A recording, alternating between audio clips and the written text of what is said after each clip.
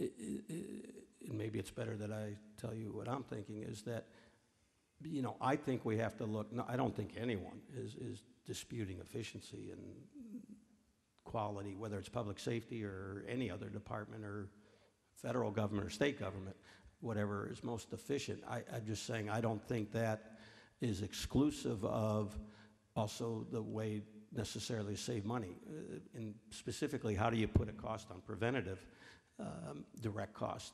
Uh, We could cut overtime, but it's that overtime for investigations that members of your union, while we could save money, uh, it's going to cost us a lot more in the future. Do we, so I, I, I guess I'm just either looking for support or disagreement, whichever your personal opinion is, is that efficiency is not necessarily the uh, bottom answer, that we got to look at both, and sometimes, uh, I believe particularly in public safety, you get what you pay for. If we do cut out things that uh, maybe look um, um,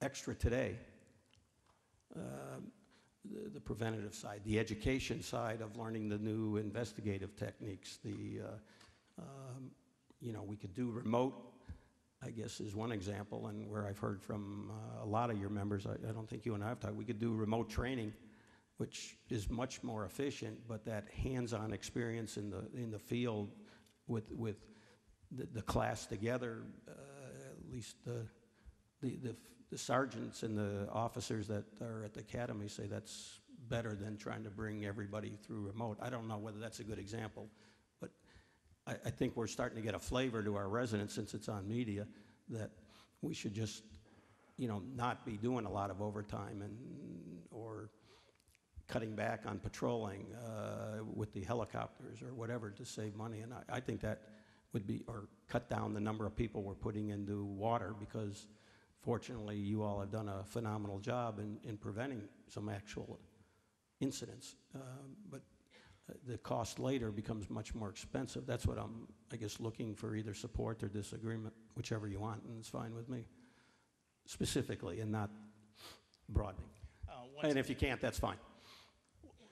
Once again, Mr. Mayor, I, th- I think uh, efficiency certainly includes, is almost synonymous with being able to provide the quality of service that the citizens have required and demand and deserve. Okay. And certainly that service uh, is based upon manpower levels and the ability to have access to that service when they need it. And when it comes to emergency or public service, it's a 24/7 job, and so it's very serious. So Okay, and then one last quick one. Boots on the ground, which has been used by lots of people right now. Uh, Does, is it your professional definition, since we all define it maybe a little different, that, uh, let's say forensic officers that uh, are never on the street, but are uh, working on these things, or uh, what do they call it, forensic computer predator uh, detectives that are working internationally but never on the street, those are, are, do you consider those boots on the ground too? I don't mean that as a negative, but I mean, I think again, for me as a layperson, sometimes uh, I only think about the officer that's in the car, but there's a lot of boots that are on the ground, right?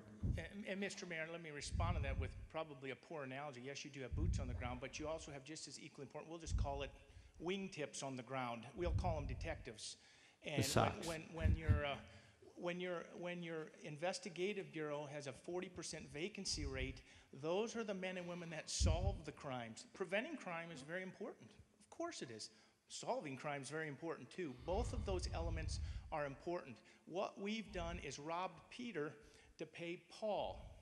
And so now our, our, our investigative bureau, if you're a victim, Councilman Neely, you're going to have to wait a couple months. You might even have to wait a year. I think you pay taxes to get better service than that. Public safety staffing is crucial. So yes, all elements, whether they're in uniform or driving around in a detective's car, or an undercover guy making uh, drug buys, or an SAU officer being first to the door, they're all services that are crucial in providing public safety.